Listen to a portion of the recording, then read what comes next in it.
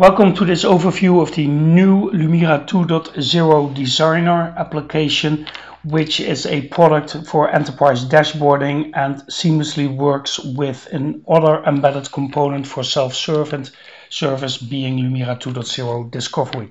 My name is Iver van de Zand, SAP Global Analytics, and on the screen you see a enterprise dashboard for product performance with a number of key KPIs, budget performance indicators, forecast accuracy, margin, and unit sold. Everything is color coded and interactive. So the moment that I, for example, choose a certain continent, for example, Americas, you see that the, the thresholds are being adjusted and the colors are changed. Also now the error color coded indicators come in comparing the performance compared to the previous month. On the right hand side you see a number of metrics coming up and I can also choose to see a certain year for example which brings another overview over here I see here the budget performance and forecast accuracy per month for 2016 and also all my color coded indicators are adjusted. I put it back on zero and start looking for example at my key metrics by clicking the key metrics tile which gives me this overview all my key metrics over here I have on my right hand side evolution graphs for my budget performance over time forecast accuracy performance also my unit sold you see the different individual KPIs. Again, some of them are color coded. And what I can do, I built in some interactivity on top. For example, I could say I want to change my interactivity menu over here. And uh, this brings a number of drop down boxes and say, well, I only want to have a look today at Canada, all the figures and you see everything is automatically adjusted and by the way Canada has quite a bad performance putting my metrics back and changing my interactivity to normal. Also in terms of time, I can click this one. Everything is cascaded. So if I, for example, choose 2016, quarter two, then you will see that I only have a few months to choose from. I'll put it back on the original state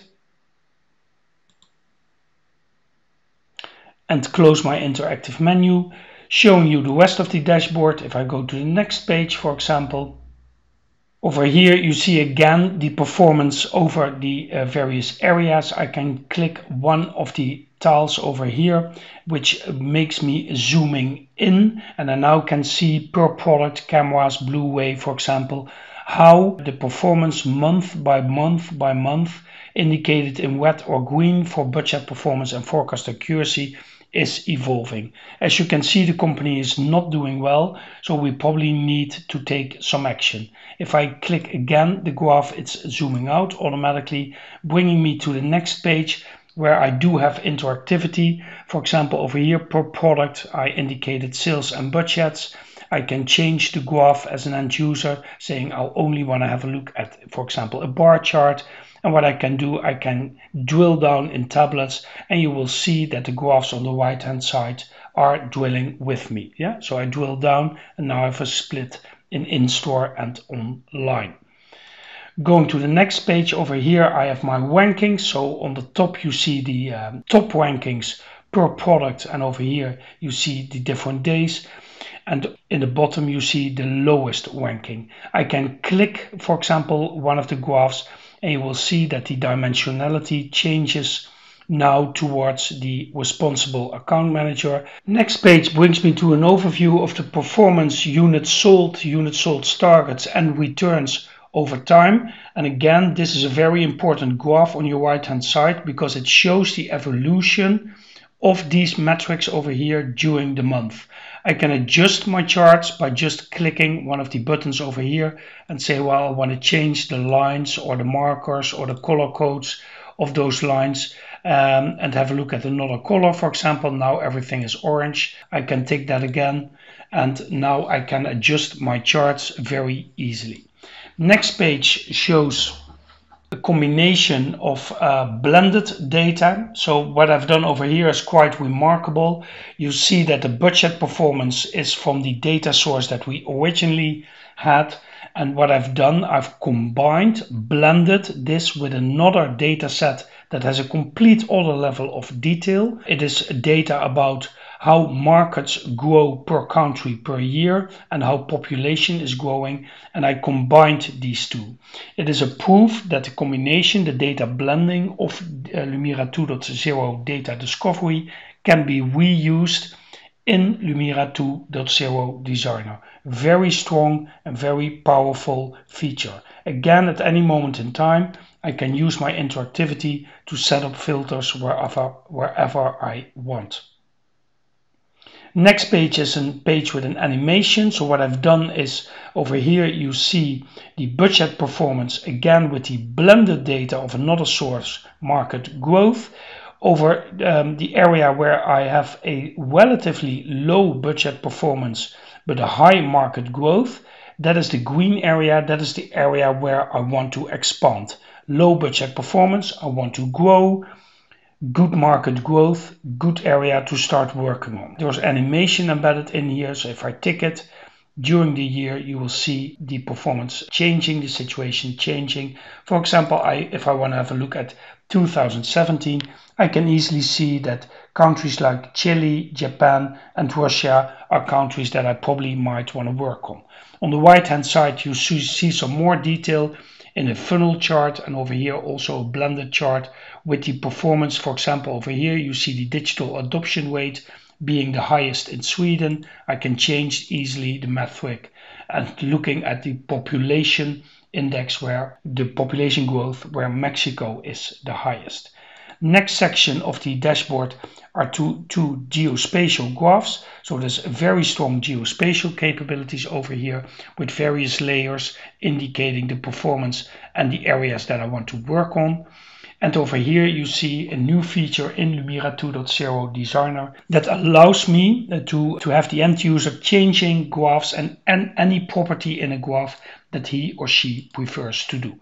So if my end user wants to change the plotting area and the background, for example, behind that, that can easily be done. Or if my end user says, well, no, I want to have a look at a, uh, I want to plot this data on a secondary axis, for example, you see the chart automatically adjusting.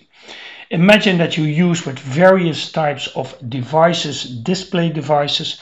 Then there is now the adaptive layout. Here you see four simple graphs. If I now start changing the layout of my display, then you see that the graphs are automatically adjusted, now correctly being displayed below each other if I change it, you will see that at any moment in time, my graphs automatically are uh, displayed in a correct way. Adaptive layout, new and very, very powerful feature. Going back to my home screen, some other interactivity that I'd like to show you. If I tick this button, I can uh, open a self-service application. As you probably know, Lumira 2.0 Designer comes with a number of self-service templates and a very strong use case for interoperability is that you can reuse the stories that you created in your discovery within your self-service template. So if I click this button, my self-service application opens again with the same layout as I defined and I can simply start playing with my data. So let's have a look at these metrics over here and say, well, I want to have a look at it per city and maybe split it out per product. For the products, I'd like to filter my members only to these ones and make the selection. I can set up or disable the subtotals.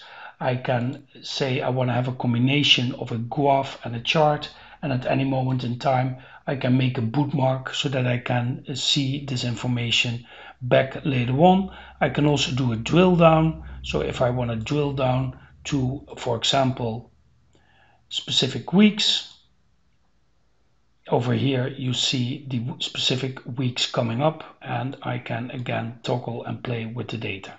Very powerful and again proof that you can really reuse anything that you initially created with Discovery into, to, into Lumira 2.0 Designer. Which brings me back to my home screen. Um, I hope we have proved to you that the Lumira 2.0 Discovery uh, data analytics capabilities are completely reusable in design uh, Lumira 2.0 designer, making it at this moment the absolute leading product in the market. Thanks for your attention.